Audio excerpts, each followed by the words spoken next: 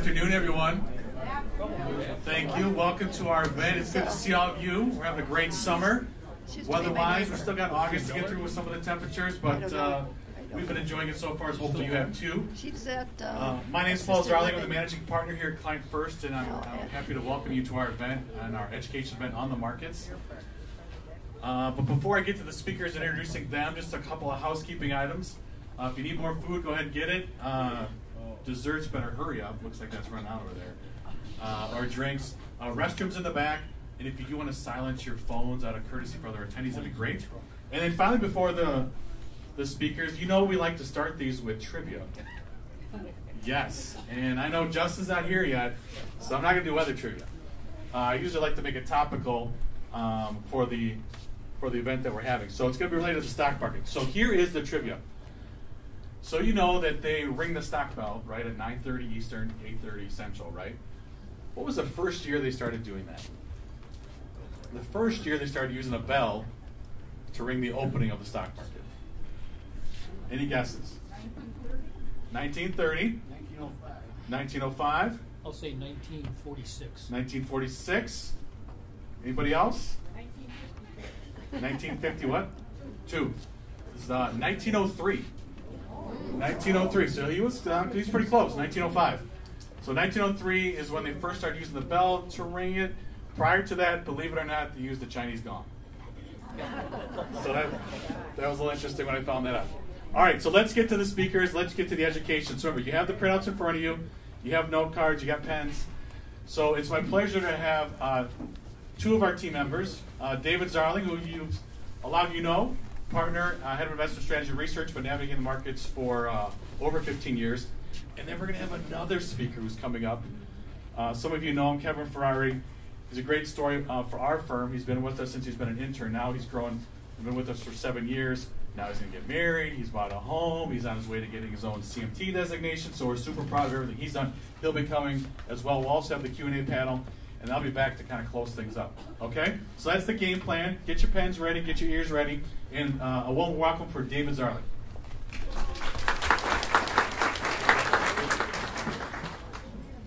Thank you, Paul. Am I loud enough? In the back, we're good? Uh, now, if we could only get them to ring the bell at the market top or the market bottom, I would be extremely happy. That would be great. Um, I always have to start with the legalese that this presentation is for information purposes and education purposes. If you're not a client with us, we don't know your personal situation, so that's how this information should be received. Um, I get really excited about talking markets. I get to do this every quarter. I'm really excited for Kevin to come up here. Uh, he's a rising star at our firm. And uh, the reason why I, I enjoy it so much is it's, it's a chance to give you some information that you can use.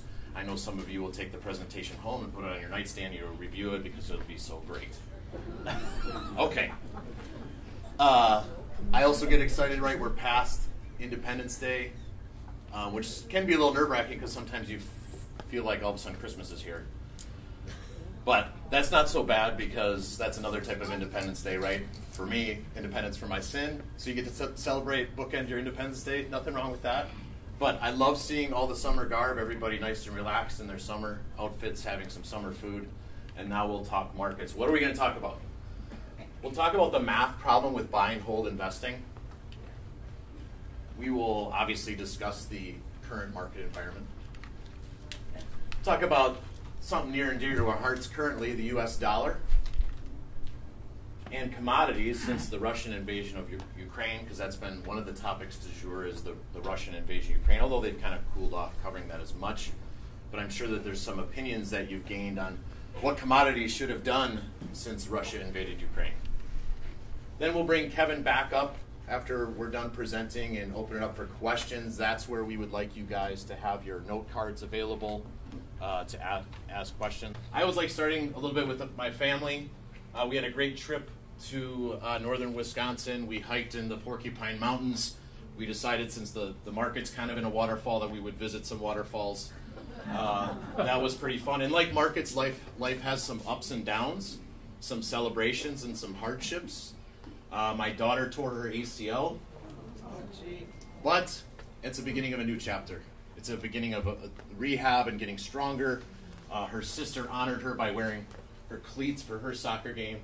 Uh, Eli's team won uh, regional finals, and they went on to sectional finals the first time in quite a while that that school had done that. That's him running like a little kid. Uh, Micah, two two championships, and then you got to sleep after that. That's kind of a big deal. And then I had a chance to golf with my dad and my sons and nephews, and I don't think I hit a ball straight, but it was still fun. So, what are we talking about today? We're talking about being adaptive. It is part of our true holistic process. We don't just manage money here at Client First. We put together a plan that involves estate planning and social security, insurance, taxes, the investment piece just as important. That's what we're going to focus on today. And our Adaptiv system is really about three main things. It's three main objectives. And that's outcomes of big wins, small wins, and trying to keep it to small losses. And so we're going to cover some of that today as we go through a bunch of charts. So, first and foremost, though, here's a iconic picture of the Titanic sinking, and this is my version of what buy and hold investment investing looks like. And here's why. When we look at what happens when we have corrections, right? If we've got a 40% correction and our account is exposed to that, it takes 66% return to get back to even. So it goes back to the classic case of you don't need a parachute to go skydiving. You need it to go skydiving twice.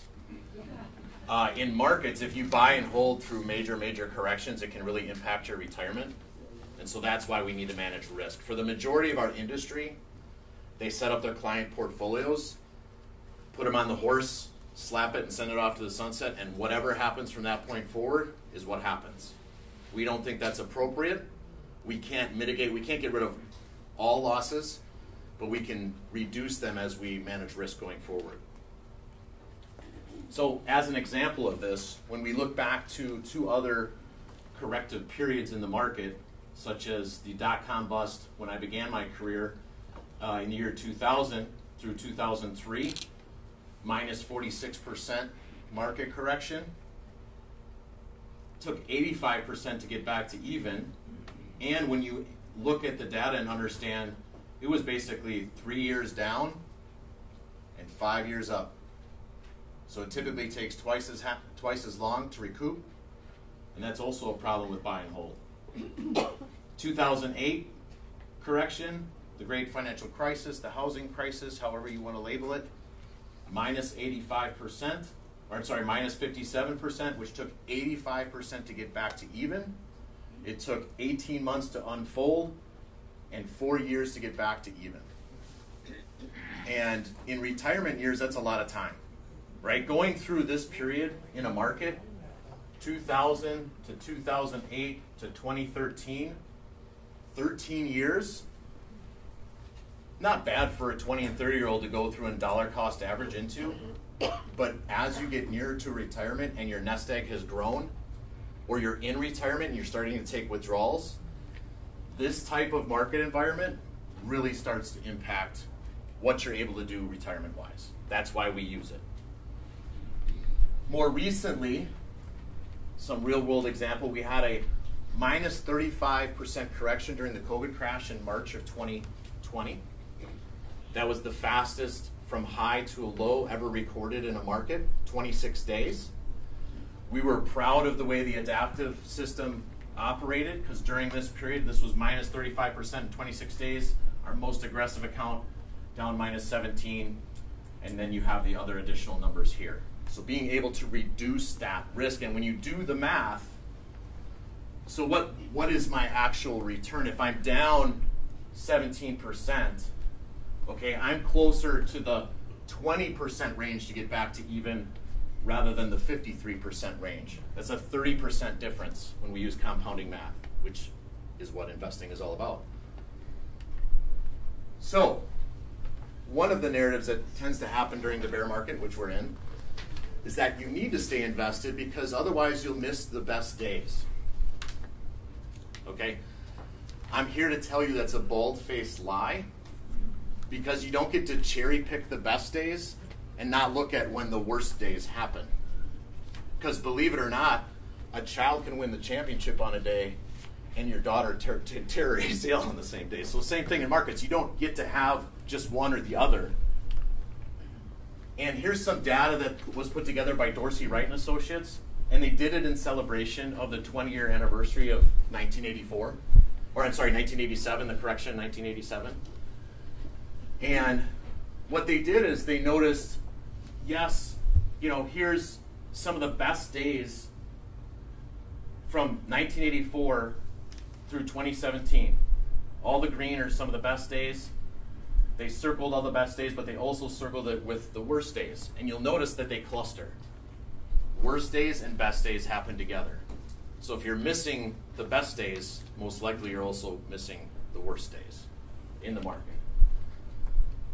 So to drive this point home, if we look at this data, and again, this goes through uh, December 31st, 1984 through 10 18, 2017, 32 years. If you just buy and hold, you'd have about an 1800% return. That's great.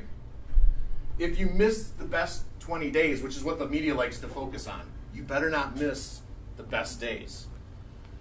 If you did that, if somehow you're only able to remove the best days, it is true. Your return, return would only be 484%.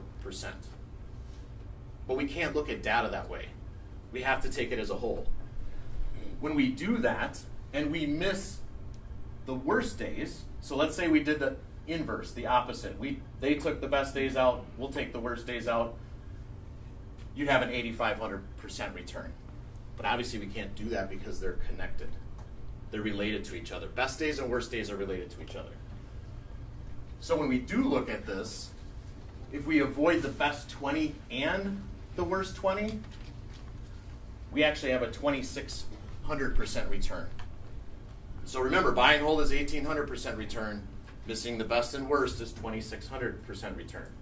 That's a pretty big difference by missing the best and worst days together. To kind of show you this on a chart, this is up through the COVID crash. The dot represents a best day, and we've taken the best days going back to the year 2000. These are the best days in the market. Does anybody notice anything about where the best days occur? Yeah, when they're down in the worst markets. The best days happen in the worst markets. So whenever we see like, oh man, the market was up four or five percent, that's great, but it might not be. Because the best days happen in the worst markets. We've had a couple best days this year, but yet many markets are down 20 to 30 percent. So, what is our current market environment like? Right, we, we know the media has finally caught on, and for some reason, minus 20% defines a bear market. We have no idea where they got that number from. We view it as downtrends versus uptrends. There's also sideways, where there is no trend. But we know that 2022 was the, if we just look at the first 132 days, trading days, it's the second worst since 1928. Okay, market down. S- this is using S&P down 20%. Again, you're going to see this on here a lot. That's for you to reference and look and see, okay, what would that take to get back to even? Second worst since 1928. When we look across beyond just the S&P 500, and we look at this top line here, which is small caps. And this goes back to February 1st, 2021. And why, if you were at some of our last presentations, the reason why we picked that is that's when the majority of stocks started to correct, is February of 2021. So really, the bear market is beyond this year. It goes all the way back to February 2021. So we're now nearing, you know, 17 to 18 months of correction for the majority of stocks. So since that date, February of 2021, small caps are down 15%. Our high flying names, people have gotten a ton of return out of these. You know, your IPO stocks, your initial public offering stocks, uh, ARK Invest, which is a high tech, high software type fund, um, SPACs, special acquisition vehicles. These are down 50 to 70 percent. And you look over in that chart, and that's when things get really scary. And our clients know that we haven't owned any of that. We didn't own the previous high flyers that people made 120% the prior prior year because we could sell out of them and not be involved with them. The one thing I'd like to highlight treasuries. Treasuries have been correcting this whole time too, down 21%. Remember, the industry says you should own more bonds. As you get older, as you get further in retirement, we disagree that you need to own more bonds. So there, there hasn't been a lot of places since February. Uh, I also provided uh, Adaptiv returns there for your reference uh, through last week from this period so you can compare these different markets and you can compare it to the chart as well.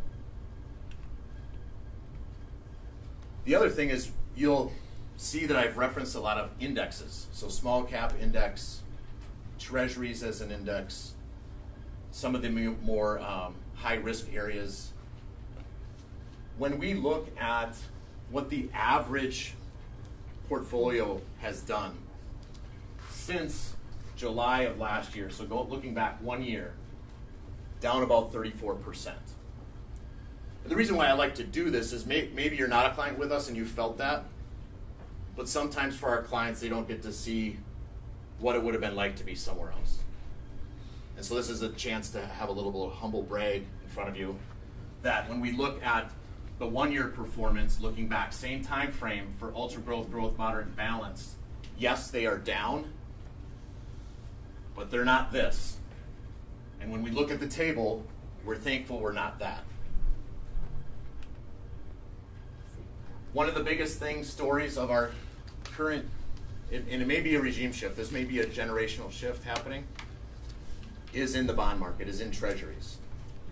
This is a uh, U.S. Treasury index, so this actually has a broad spectrum. It's not just some uh, specific duration, like 20 or 30 year duration. That's close to a minus 12% drawdown, and it's bigger than anything we've seen since the 70s.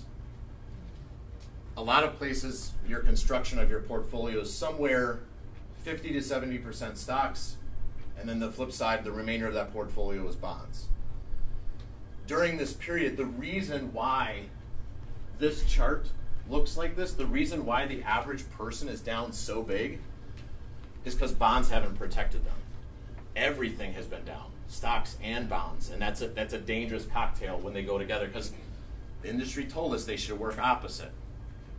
Well, it works opposite until it doesn't. Uh, and it's not right now. That's why we don't own bonds. We've had limited exposure to bonds. Sometimes we've even been short bonds when we look at it, so everything I was presenting to you in the past was in percentage terms. What I have up here is dollar terms. And what we're seeing going back all the way 1970s is one of the largest destructions of wealth in modern history. So to orientate you to this chart, for example, during the 0809 crisis, about minus 10 trillion was taken out from market, from owning stocks and bonds that much. We're now minus 15. And this is related back again to what treasuries and what bonds have done during this period of time. So stocks down, bonds down. That tends to be a recipe for this type of wealth, wealth destruction.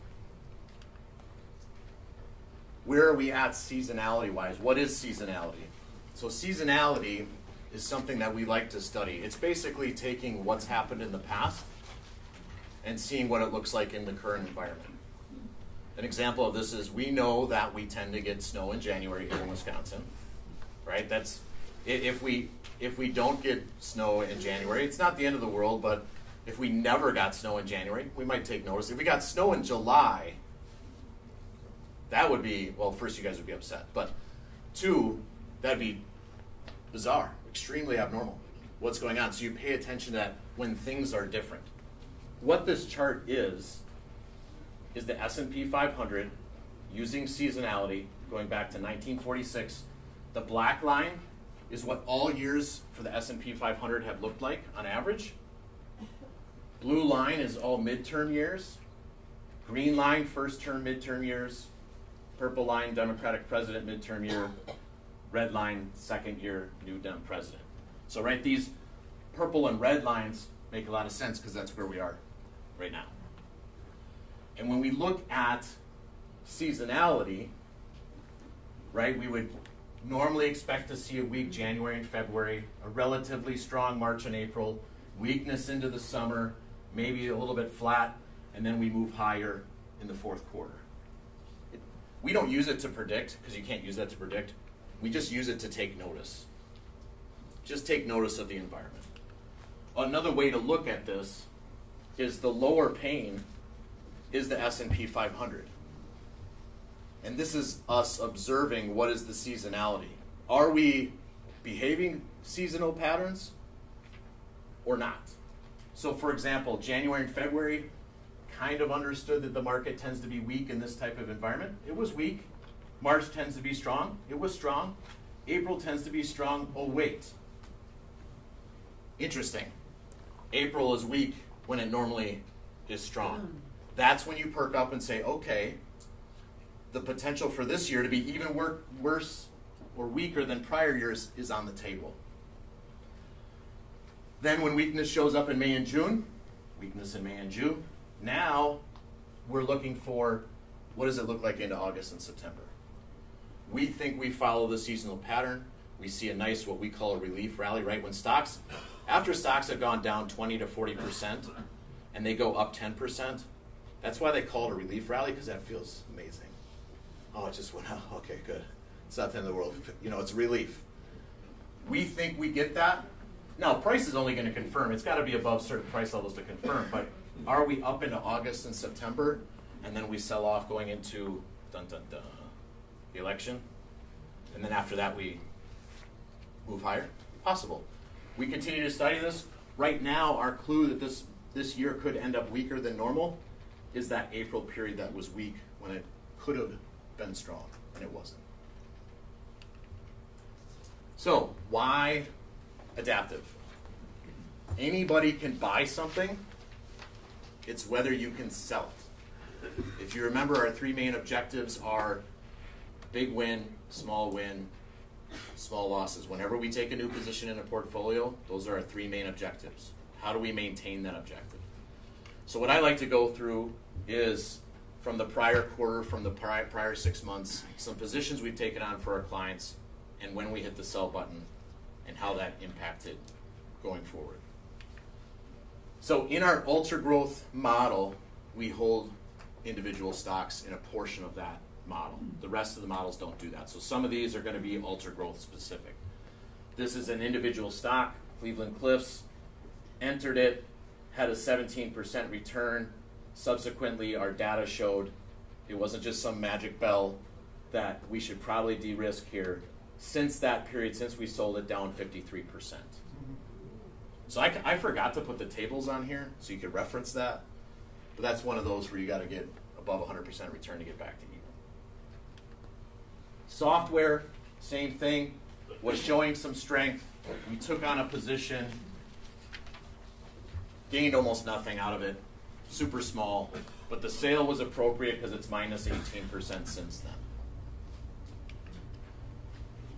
This is Lithium Americas. This is a position that was taken, showing some strength. Bought it, uh, up 10%. Big red day and some signals that we use. Uh, sold it, minus 44% since then. This is uh, Smart Global.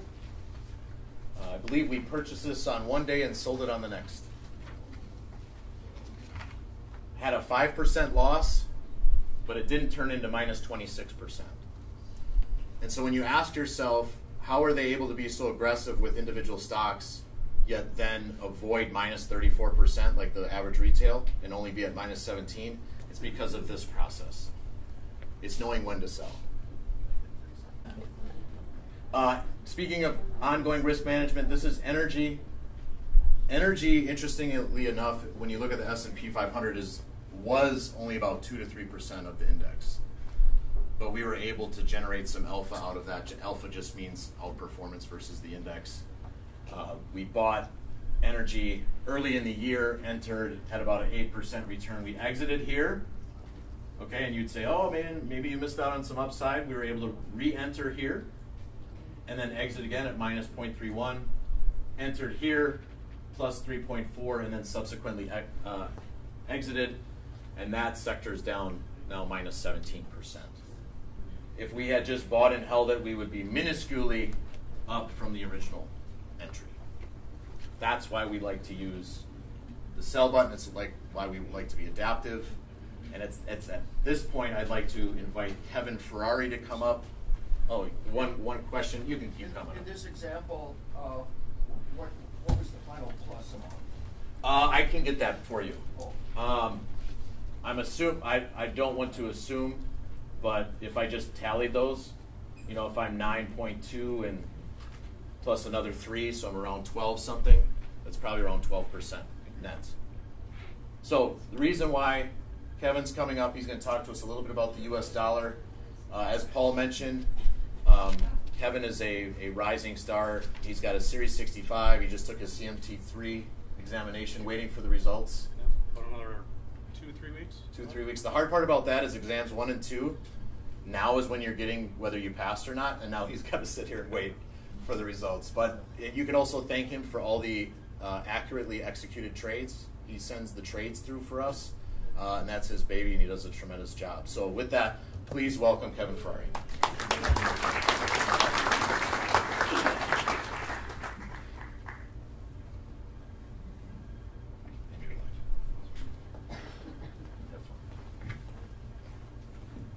All right. Sound good? Um, You know, I was thinking about this actually when Paul was uh, bringing up, we got a wedding coming up, we just bought a house. Um, it's actually pretty fitting that I get to talk about the dollar because I feel like for the past six, seven months, all I've been doing is handing out dollars, and never really getting too many. So this is uh, kind of perfect. Um, but how many people kind of keep track of like the mainstream media? Have anybody really heard too many people talking about the dollar much? I mean, I don't think I really hear about it. No. Which mostly inflation, right? I think is probably the big talking point. So that's probably one of the more interesting things because I think this has probably been one of the bigger developments over kind of the past 12 months is really just the performance of the dollar. Um, so what this is, this is the dollar index. So basically, it's the U.S. dollar weighted against other major currencies. Um, the top three we'll look at individually. It's the euro, the yen, so this index, basically, since the last time um, we met back in April, um, down here, kind of hit prior support, and really it's been doing nothing but rise since then. Um, and it's been a pretty dramatic rise at that, um, which is why it's so surprising that you haven't really heard the mainstream media talk about this more. Um, just the fact that the dollar's been performing so well. Um, and when you look at it against these individual currencies, because you know currencies they're often talked about in pairs, right? It's always one currency to the other. So in this case, it's the dollar to the euro. Um, you can see it looks quite a lot like that index. Um, same way for the past 12 months, been performing well. Broke out um, kind of the summer of this year, early June, um, and has been doing really well. Same against the yen. Actually, the yen was probably the most dramatic rise here. Really, once you start getting into kind of the middle part of 2022, um, you can see that's probably about as close to vertical as you can get. Um, it's been really um, cool to watch. A little bit of retest and it's continued on since then. And then kind of same story here against the pound, which is the third um, strongest weighting in DXY, the currency index. Here, not as strong. Um, you can see a little bit of a breakout. It's pulled back into kind of what was previously resistance, a little bit of support. So we'll see how that turns out here as time goes on. Um, but still, the dollar's been doing pretty well. Um, and when you look at it, this is kind of a currency matrix. Um, this is going back the last 12 months. The way you want to read this is the top row here is the main currency we're looking at. So in these past three examples, we're looking at the dollar to another foreign currency. So the dollar here is the main, oops, sorry, the um, count here is the main currency, and this is how it performed in relation to these other currencies. So you can see for the euro here, um, it would be up 50%. You can see it beat every major currency here um, that's in this matrix. And it's been pretty dramatic as well. You can see there's some big numbers, 25% against the yen. Um, the yen was actually the weakest performer out of all of these currencies here, which you kind of saw that dramatic rise before. The second, I guess, best performer here is actually the Canadian dollar, um, which is down here towards the bottom, CAD. Um, the only other currency that the Canadian dollar couldn't beat was the US dollar. Um, and that was kind of followed by the Swiss franc there. So you can kind of just see one of the more common themes we've been noticing, we've actually participated in for clients, has just been the strength of the dollar. Um, and one thing, Dave and I were actually talking about this before we get to the presentation. So if you look at the performance of the dollar to the yen, so this is the yen here, dollar up here. Um, where is it? So you see a 20% underperformance for the yen, but the outperformance is 25%. So if you look at the tables that we've been looking at before, um, drawdown, so what it would take to equal that in return, that actually matches up perfectly. You would need 25% return to get back to even for 20% drawdown. So it's, it's kind of an interesting observation to notice there before. Um, if you were here last quarter, um, when we talked last, or if you watched the YouTube video, one thing we talked about quite a bit was commodities. Um, and I know Dave's going to touch on this in a little bit. But one interesting thing we saw before, um, or actually the last quarter, is just the fact that commodities were outpacing the performance of the U.S. dollar, um, which we talked about before is not necessarily the case. Usually, you would expect um, strong dollar, weaker commodities. Um, but you can kind of see here, at least more recently, it's actually hit prior um, support, current resistance, and that relationship's kind of turned back the way we would expect. Um, commodity commodities now are um, not keeping pace with the dollar which Dave will come up here and kind of look at individual commodities and kind of talk through why that is. Um, but part of it too is just what we touched on here, just how strong the dollar really has been. So for that, I'll turn it back over to Dave, so I can think about how much money I've been spending on the house and the, the wedding a little more.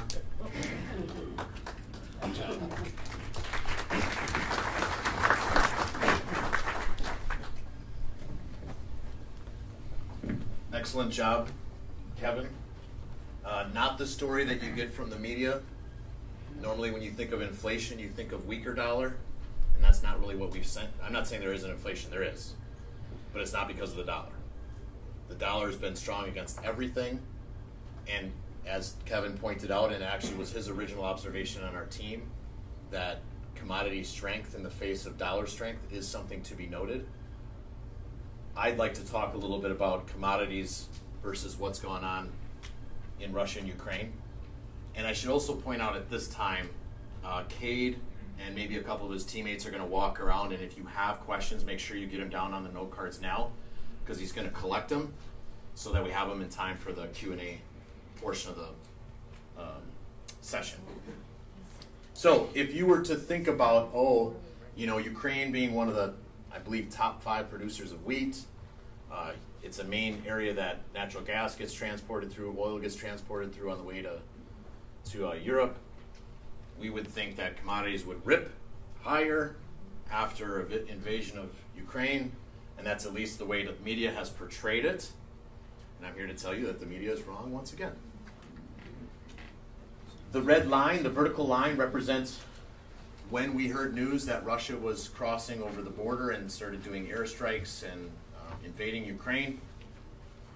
The black horizontal dash line represents the price of whatever we're looking at and where it is today. So most of these initially had a thrust higher. You know, there was a thought that agriculture was going to get really expensive uh, because of the invasion of Ukraine. It may still yet, and it has, obviously, if you've gone to the store, things have gotten expensive. But when we're just talking about the raw material, corn is now below or just a little bit above where it was when Russia invaded Ukraine. Wheat, again, Ukraine being a major wheat producer, wheat's actually below that level. Cotton, same thing. We see that below where we were in the Russian invasion. Soybeans, same thing, you get the story. Oil, on the other hand, still holding up. I would say it's cooled off. This is a, a rather decent correction from 40 bucks down to 30. Uh, you know, if you do the math on that, that's not just pennies. And so oil has cooled off, but it's definitely still above where it was pre invasion. Gasoline, same thing. We see it at the pump. Now we've come off, at least here in Wisconsin, Wisconsin, we've come off the five handle, right? We're no longer paying five bucks. I was just having a conversation with someone else. Man, if it gets to three, everyone's going to feel amazing. And then what if they just keep it at three? I don't know. Not sure that that makes sense, much sense to me. In fact, what I'm about to put on here, I only bring it up because I don't care whether you're a Democrat, Republican, purple, green, white, whatever. I don't understand why we're saying we're taking oil out of the reserve to lower prices when prices have stayed high and we're sending it overseas. I've got a brother that serves in the military. I think this is a problem. This is a strategic reserve for us, not for someone else. So that's about I, I really, and it's really not a political statement. It's this. This is lunacy to me. That you would somehow empty the reserve, saying you're trying to help prices, and then ship it overseas. No, thank you. What happens when that's at zero, and then we end up in war? You got nothing. I don't know if people know this, but Humvees and tanks run on diesel and gas. So I have a problem with it. I wanted to highlight it because I have a major problem with it. I think that's a, I don't care what, like I said, it's not a political statement. I want to be very careful. If it were a Republican doing it, it's the dumbest thing I've ever seen. Silver and gold. Um, this is one of those things where when you talk about inflation, where should you hide? It's always gold and silver. That's what they say. Gold and silver, gold and silver. Buy precious metals. Well, inflation has been going on since the beginning of this chart. Here's the the other thing you buy silver and gold for is when, when there's a panic over uh, a global war. And here we have silver down since the invasion of Ukraine. Same thing with gold. We've seen a correction. So again, the reason why we study charts and we look at price is that we need to know when we're on the wrong side of the trade and we need to hit the sell button. So same thing, we participated in commodities. So some of these charts, you'll notice that they did appreciate at some point and they did help portfolios at some point and they're, they're not something to be participated in currently. For example, we own some metals and mining. It's an ETF that represents, uh, you, you could be mining industrial metals, could be mining precious metals. Took an entry up 30%, was able to sell it before a minus 23% move. It's a good sale. Nickel, this is another example. The other thing you'll notice is the numbers are bigger with commodities. They just have bigger movements. It's just the way it is. Nickel up 62%. It was a great trade for us. We were able to sell it. Subsequently down uh, minus 39%. Again, you'll notice some math there that looks unique onto the table. When you look at it, what it takes to get back to even. Aluminum, uh, short trade, uh, short in duration trade. We only held it for a little while, up nine percent, then sold it subsequently down thirty-two percent. With seasonality, when we look at commodities, so this is a the CRB index that represents it's a commodity basket, so it's got oil and different things in it uh, that are commodity based when we look at what they do each year, they tend to be strong into the first half and weak into the second half. And this has some importance because, as I was talking before, we've seen stocks down and bonds down, and for a little while, commodities were up. So you had two asset classes down, one asset class up. We're heading into a period where do we see all three asset classes down with nowhere to hide but maybe the US dollar? We don't know. So now I'm going to have Kevin come back up. I believe I saw Cade with the cards, and I'll have Paul come up too to ask some ask us some questions. We'll shuffle through the cards and look to see if there's any good ones. Paul, I can look at them, or if you just want to grab out of the grab bag, that'd be awesome. All right, so I've got a couple questions, um, but I also have a lot here, and I'm trying to see if there's some major themes. For example, one of them, I already see a couple on I bonds, so we'll get to those in a little bit. But um, Kevin, why don't you just let people know how's the house hunting been going? How's you know, marriage planning going. You've been talking about handing out dollars. Maybe give a sense for that, and we'll get into some of my prepared questions. Yeah, the uh, the house has been good. We purchased a house uh, around the end of May, I think, and we weren't actually even looking. Just happened to see one that checked all the boxes, and it happened to work out first offer. Um, so kind of unusual, I think, for what most people are seeing now. Think it's a little over three acres, so I've been doing a lot of yard work. Um, a couple hours on the mower each week. It's been good. A little hot. Um, on the wedding planning, I'm definitely not management for that. Uh, I just gotta do what I'm told. So, and so far I haven't been getting yelled at too much. So I can't be doing too bad, right? nice. All right. Um, okay. This one's for either one of you. With stocks down, bonds down, commodities rolling over, where are we in the cycle, and how are we managing risk at this I kind this one with my last slide. So uh, I felt the need to grab the mic. Uh, so this chart here to orientate you above the horizontal line is the business expansion. Below is business contraction. And so you see that we ebb and flow out of expansion down into contraction. And this cycle is a perfectly normal economic cycle. The reason why I was talking so much about we had been seeing stocks down, bonds down, and commodities up, what stage is that? If stocks are down, bonds are down, but commodities are up, what stage is that on this chart? Stocks down, bonds down, commodities up. Stage five, right? Because we've got bonds down, stocks down, commodities up. If we see commodities continue to roll over, we are now in full on contraction mode.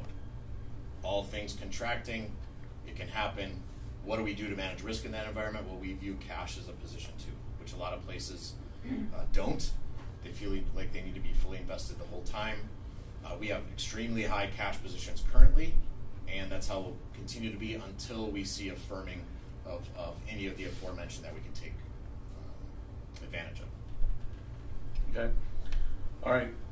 With inflation being the big topic of late, should we be buying precious metals like gold and silver to protect ourselves? That also aligns with a couple questions we had on gold. Um, yeah, there's perfect. Yep. So if you would have asked me that question probably 10 years ago, I think I would probably agree with it, right? Um, I mean, just coming out of school, that's probably taught precious metals, inflationary environment. Um, that's a good way to hedge against inflation.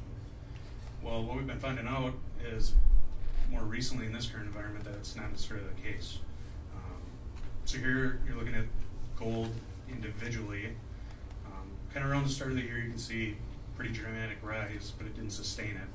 Um, ran into resistance and actually has been um, moving downward since then, um, which you wouldn't expect as inflation continues to rise. Um, silver, kind of the same way, didn't quite have as dramatic rise, but also rolled over and actually broke down where gold has at least been holding its support. Oh, too far. So when you look at this chart here, so what this is is a percentage performance chart, and it also charts the inflation rate here. Um, so if you look at that, I'll try to shoot around Dave here. So this solid blue line here is the CPI index, the inflation rate. So it's right around nine percent. Um, I think has been the most recent report. Um, gold and silver are charted here, so you have gold kind of in the its own color and silver below.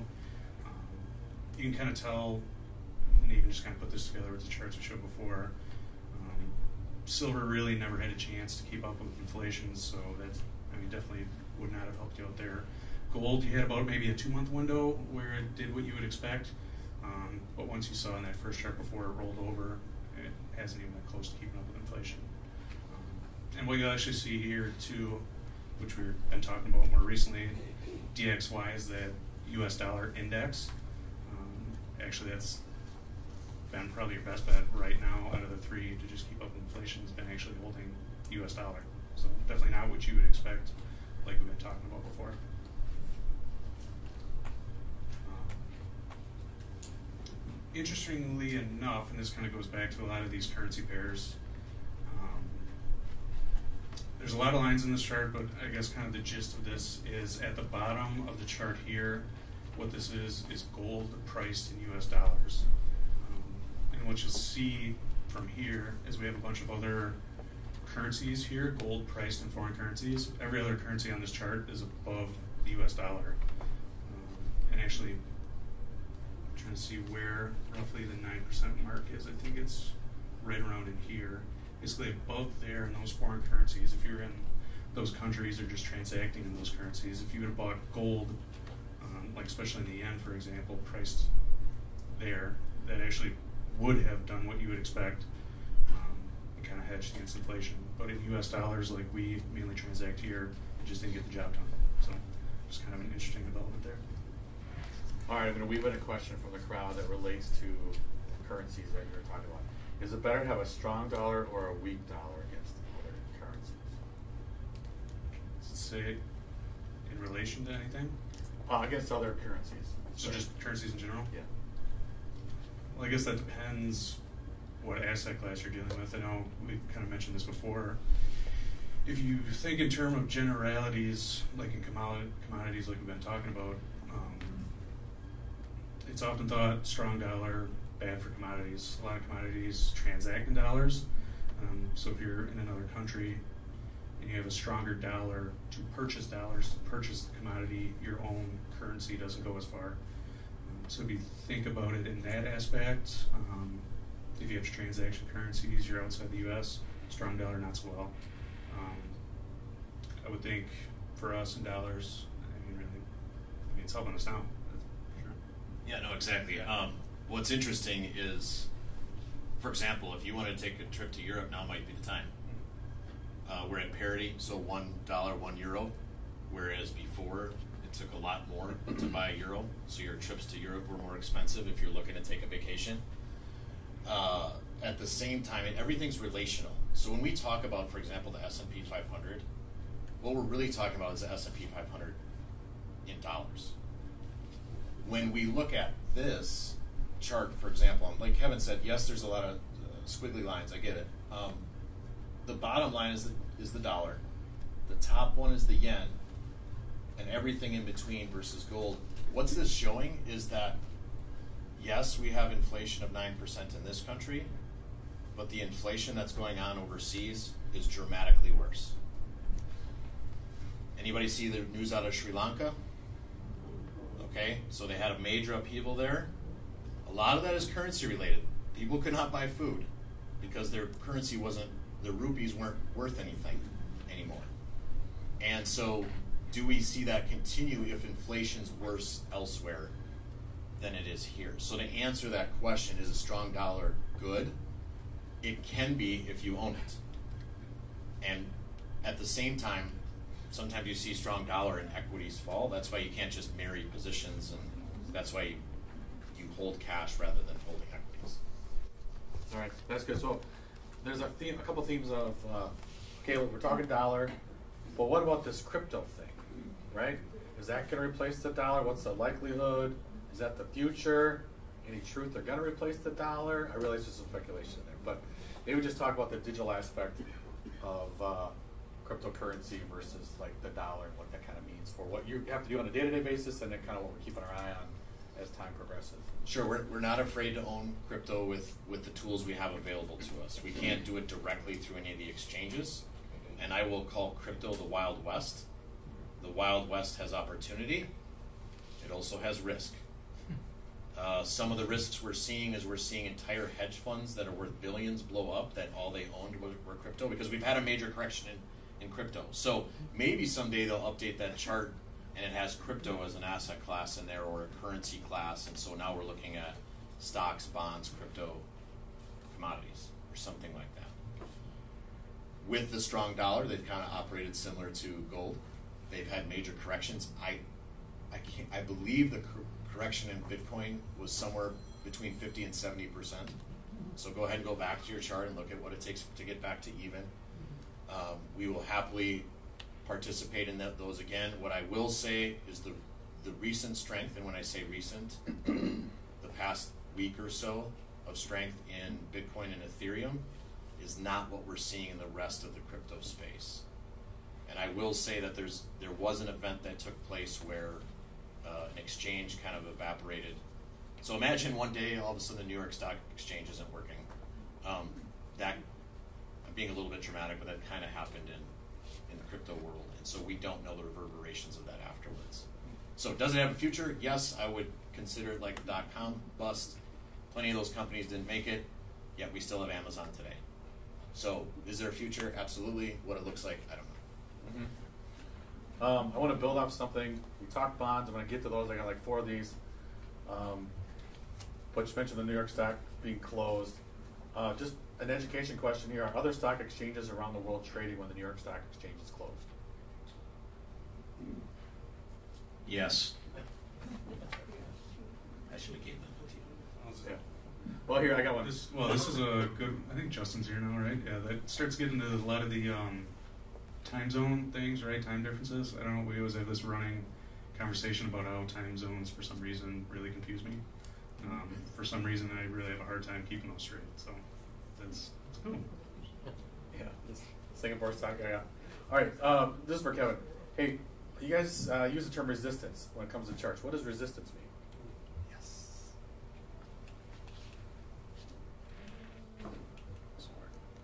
All right, this is good, especially going through the CMT courses here. It's perfect. Um, so, yeah, good. Well, and the trick with this is support and resistance can former support can become resistance and vice versa. So it's a little tricky there. Um, but in this chart of gold, the easiest way to think of it, um, if you go up to something, price goes up to something that's resisting it, it generally bounces back, right? So this top shaded area up here, um, although it only touched it in kind of two or three points, would serve as resistance as price approaches it.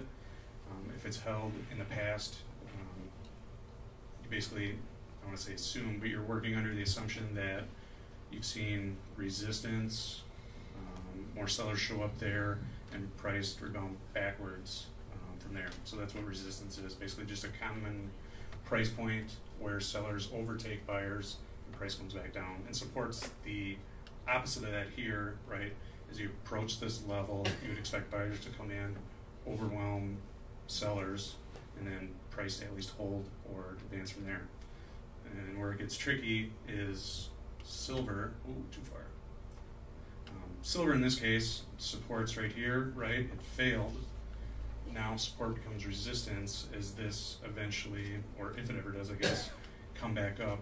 This now serves as resistance. Um, so just kind of common areas you see buyers and sellers really kind of fighting it out. Mm-hmm. Thank you. Um, so one of the questions I had um, talked about was, you know, we're protecting clients. Should we be buying bonds? And then I have a number of questions here about specifically on I bonds. What are they? How do they work? And do we actually think about them for our clients? Yes, we think about them, but um, I bonds are bought directly from the Treasury, and so you can set that up online.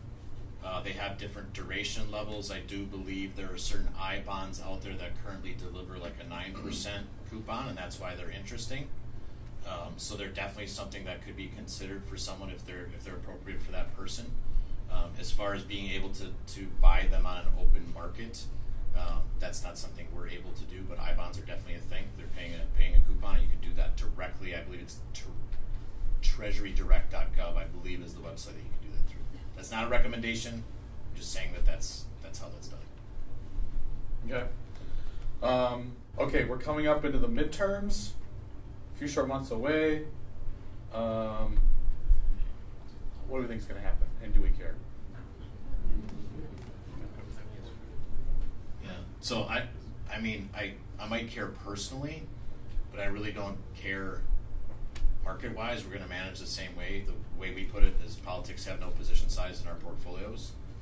Um, as you can see, different parties in power, and I know this is just a midterm, so this is not really reflecting. Uh, this is presidential, but really, there's no difference. Now, you might see a shift in where the cash goes. So you may certain, see certain areas do better, but as far as overall, no party has a um, monopoly on market returns. So either way, that's fine. I do think, if I may talk politically or personally, that if Republicans were to gain advantage, a fuller advantage in the Senate, and regain the House, if you thought the last two years were crazy, it might get crazier. And I don't mean that as a slam on Republicans. It just opens the door for all sorts of investigations. And I tell people all the time don't assume because the last two years were crazy that it can't get crazier. Okay? Be the, be the uh, salve in other people's lives, be prepared for that, and have personal conversations. And focus on that instead, anyway. Don't watch political TV. Right. It gets you too fired up, anyway. Okay, so you, you talked about it, kind of looking forward. It, it, oh, go ahead, sorry. Because this is like the coolest stat to me for some reason. But we talked about commodity performance last year. Um, so we think democratic leadership, I think generally themes, right? Um, focus on the environment, things like that. People who've been here before probably know the answer to this, but what do you think the strongest performing commodity was last year? Any guesses? It's energy related. It's coal. I mean, not the cleanest form of energy, right? I never would have guessed that. Yeah, and it's blew most things out of the water, which is just crazy. So the thing. Even like Dave said, you expect money, depending on who's in charge, to kind of flow to different areas. I mean, even that doesn't necessarily have to hold true what you would expect, right? You always got to be open minded. So. That's a that's a really good point to bring up, right? You have to be open minded. So I guess looking forward, what are the you know if the bear market's going to continue, what are some pieces of evidence we're looking for, um, so people kind of know what hey, these are what we're keeping an eye on, and also being open to hey, there might be some surprises like coal when we've been kind of shoved down our throats to get an electrical car, right? Well, I guess just in general, because we talked about this before. So if this continues, right, as you look at just the business cycle in general, transitioning, like Dave said, stage five, stage six, where you see more broad selling um, across bond stocks, commodities, basically everything where cash is kind of the only place um, to really be. That's kind of more what you would expect. Um, and generally, too, whether or not I mean, when you're expecting to pull out and go back into stage one to really restart that cycle, like this shows here, you would expect to see kind of some consolidation of bonds and eventually those to lead out of the bottom. Um, and I know once two, generally, I know we've shown this before. Um, there's a chart with the different sectors at the top. And kind of once bonds lead and stocks start to come back up too, you usually start to see more kind of like your growthy stocks start to lead off the bottom too, which is what we'd be looking for. Um, I don't know if you have more. I think internally we talk a lot about bear markets have these legs to them. They have different, and, and I would say if there is, so we operate in theses. If there is an ongoing bear market, we could be heading seasonally into a period where we have a relief, which is the hard part of a bear market. It makes everybody feel good, things are okay, and then you roll back over. And what we haven't had yet is what we would call capitulation, and that's a very aggressive move down where everybody's selling hard. It doesn't matter. They're throwing the baby out with the bathwater. That's one thing we would be looking for if it were to continue. And we're, quite frankly, we could be marking the bottom within the last few days. I have no idea. A bottom is different from the bottom. Like I said, they never ring the bell. I don't know what those things are. The other thing is, if you could advance it one, um, this one. So we have all these all-star players in the index, such as Microsoft and Apple. So Microsoft and Apple make up 11% of the S&P 500. Think about that. That's like five times the entire energy sector, almost. So what happens at bull market tops, and then you go into this long-term bear market, is the prior leaders become your laggards. So for example, as we went into 06, 07, 08, the, the final piece of that bull market leg, in the final two years, you saw financials get weak. Your J.P. Morgans, your Berkshire Hathaways, and those had been the leaders on the way up. Energy, same thing, were the leaders on the way up 07 and 08. And then all of a sudden, those rolled over, and that was it. Then, and then we had that capitulation in fourth quarter uh, 2008. That's what we would need for this to continue. Right now, Apple and Microsoft remain relatively strong versus the index. If we continue to see um, that happen, it's going to be very hard for the market to continue further down. But if it does happen, look out. All right, so we didn't get to every question, so I want to thank, thank you for submitting questions. Uh, there's a few more that maybe we can kind of get some content out later, or a lot of it aligns with some of the content we've done with the podcast or the weekly summaries, um, et cetera. So, but why don't we take some time to kind of wrap things up and um, kind of work toward uh, adjourning our, our time together?